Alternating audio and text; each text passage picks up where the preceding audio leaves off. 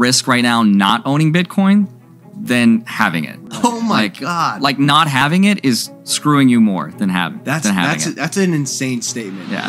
What is going on, you guys? Bitcoin and Ethereum are all over the place across the news, and as said best by Andrew Jick, you know, you're taking a risk by not getting into Bitcoin or Ethereum. So with that, there's going to be a whole bunch of people getting into the game here, and I'm sure this is why you're here, and you're wondering how you should get Bitcoin or how you can acquire Bitcoin and Ethereum without getting scammed. The scammers are going crazy right now because there's a bunch of new people that are getting into the game and they don't know what they're doing. So, if you want to learn how to do it and how to do it right, this is the video for you. Stick around. Let's get into the video. Cue intro. To begin with, we're going to look at different brokerages. So you're going to either want to stick with Coinbase or Gemini. There's lots of other scams out there, so don't put your money into something that isn't backed by anything. So make sure to do research on this, and my recommendations would either be Coinbase or Gemini. I personally use Coinbase and I have had really good luck with it. Um, the other day it did shut down and I wasn't able to get in for a couple minutes. That was due to the extreme trading amount of people that were getting in and out of Bitcoin. But other than that, I was able to get in a couple minutes later. It has worked out really well. So the other one is Gemini, and that's made by the Winklevoss twins. And if you don't know who they are, they're basically the people that initially invested into Bitcoin, and they own a lot of percent of Bitcoin. And so they wanted to make a way to be able to trade Bitcoins and cryptocurrencies easier, and so they made Gemini. One thing to look out for is places like Robinhood. And with Robinhood, you're not actually owning any Bitcoin. It's just a representation of Bitcoin and it's not backed by anything. So at any time, they could just take it off and you could lose your money. So you want to put it in something where you're actually able to accrue the Bitcoin and you're able to take it off into cold storage if you would like. Whereas if you were to do it with Robinhood, you wouldn't be able to do that. You would just be basically like a stock, except that it's not backed by the FDIC. Okay, so for actually creating your account now, for the good stuff, for the fun stuff, I'm gonna be doing it in Coinbase.com and I'm gonna be showing you that because that's what I personally use. However, if you wanna do it in Gemini, that is completely fine. Um, or if you wanna do it in Coin- Coinbase Pro, they tend to have smaller fees. Um, we're not gonna do that at this time, we're just gonna be using the regular account. But if you want to upgrade in the future, I will make a video on that, or you can just look up a video on how to do that. So, first off, you have to be at least 18 years of age or older. You need a government issued ID. You need a computer or a smartphone. And that's all you need. So now, going in and creating your actual account, go to coinbase.com, click get started. You're going to do your full first name, last name, your email address, your password, your state, and you're to create click account. Then you're to go and you're to verify your email address. And um, you're to basically verify that that email that you put in is legitimate. So then you will be getting into verifying your phone number. So you want to have as many touch points as you can with Coinbase because if you lose your Bitcoin, you lose it for good. So they're going to be going and getting your phone number and verifying that. The next one is adding your personal information, first name, last name, date of birth, address, um, why you're using Coinbase, and then your last four digits of your social security number. So if you don't feel comfortable doing that, just keep that in mind beforehand. Um, and then you're going to be verifying your identity. So as soon as you sign into your Coinbase account, and this is where I kind of messed up on, and this is why I didn't get into Bitcoin as soon as I wanted to. You know, I was looking at it at the $10,000 range. I was super pumped. You know, I was just ready to roll. And then I actually went to make my account and I, it wasn't working for some reason. So I was like, oh my gosh. And then it starts going up and then I missed out. I ended up getting in a little later, but basically you need to verify your ID. So you need to complete ID verification, which is where you put in your driver's license. And um, another step that you can do is have a two-step verification app. So you can get an app that verifies on your phone. So if someone were, someone were to take your laptop, then you wouldn't be completely screwed because they would still need access to your phone and sign in through your phone. Would highly recommend doing that.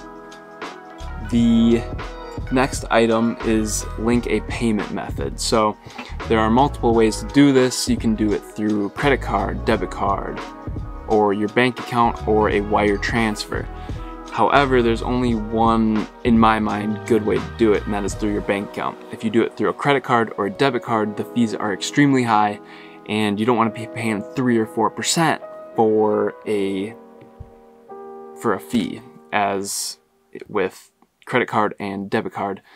But it's not. There's no fee if you do it through your bank account. So that would be my recommendation. Don't be doing it through your debit card. You're paying way too much. There are also multiple ways to verify your bank account.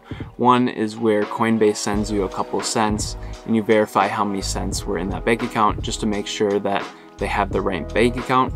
Or, and this is what I did, is you just log in directly through the Coinbase app into your bank account and then it verifies it that way. And that way is a lot faster.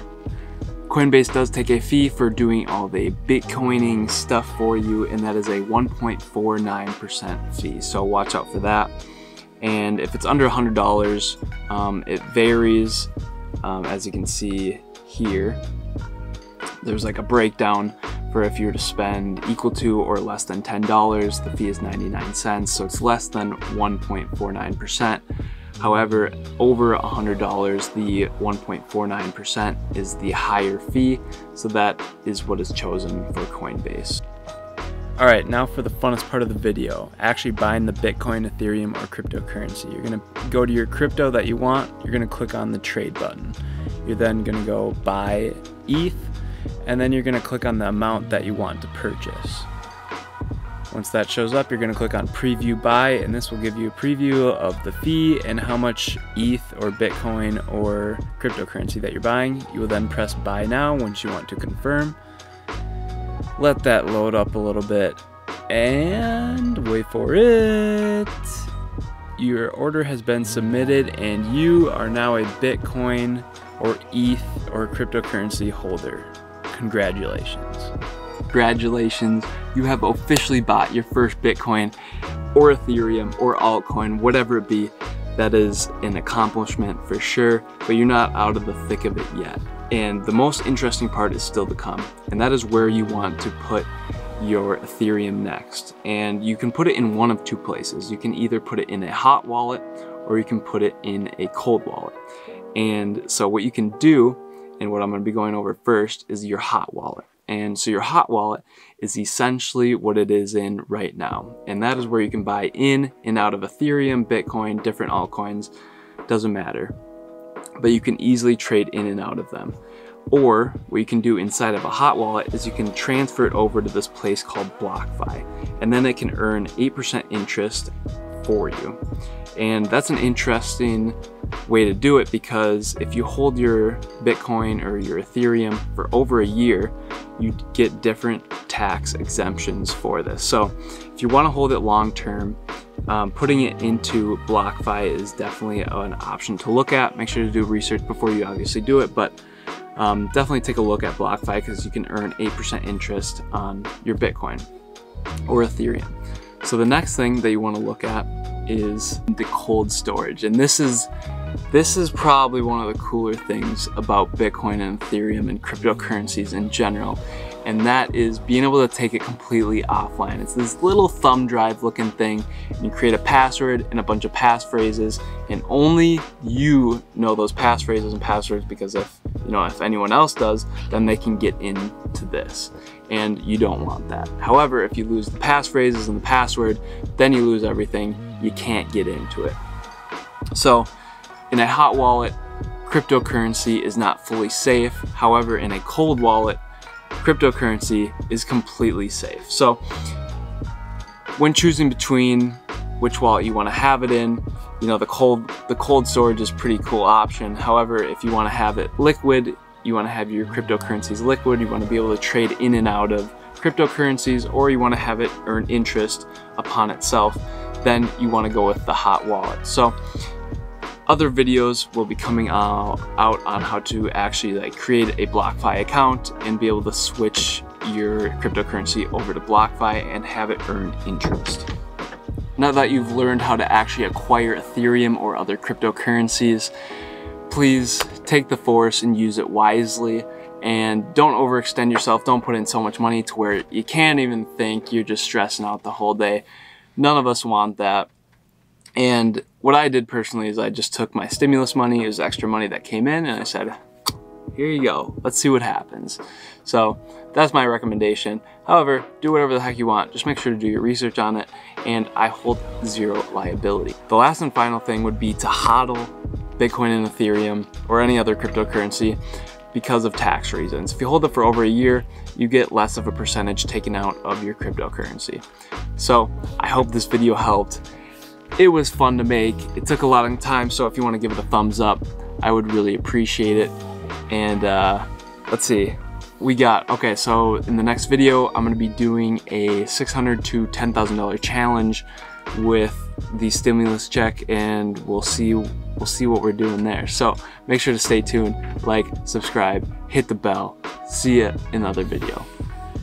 Deuces.